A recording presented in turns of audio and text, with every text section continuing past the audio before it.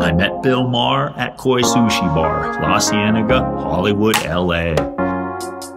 Hey Bill, can I buy you a drink? I don't drink, smart guy. But can I offer you a pot brown? I'm there with the best and funniest political commentator on the planet.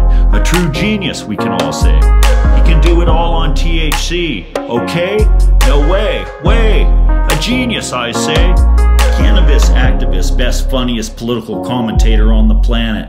Opening monologues on current events, panelists, authors, actors, activists, journalists, pundits, and politicians too. His class, comedic show business style, and societal, political, spiritual, not religious views. This intergalactic intelligence is the brightest star, Bill Maher.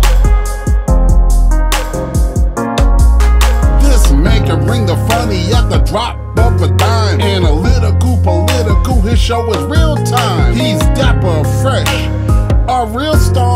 Talking about the man they call Bill Maher. Now on HBO, he opened the show with a funny dialogue, and he does dog Republicans at every chance he gets. Funny as heck. Oh, but yet he's skilled but brilliant,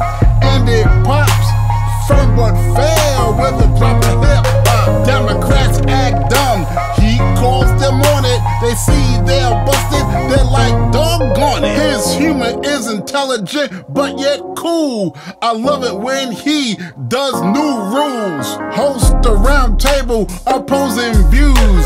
You decide whose opinion you choose. He's had stars galore appearing on the show.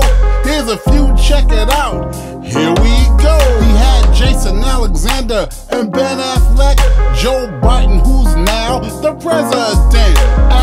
Al Franken. He had George Carlin when he was alive, a comedic darling. Dennis Miller, Chris Rock. He had Bill Nye, that's right, he had the science guy.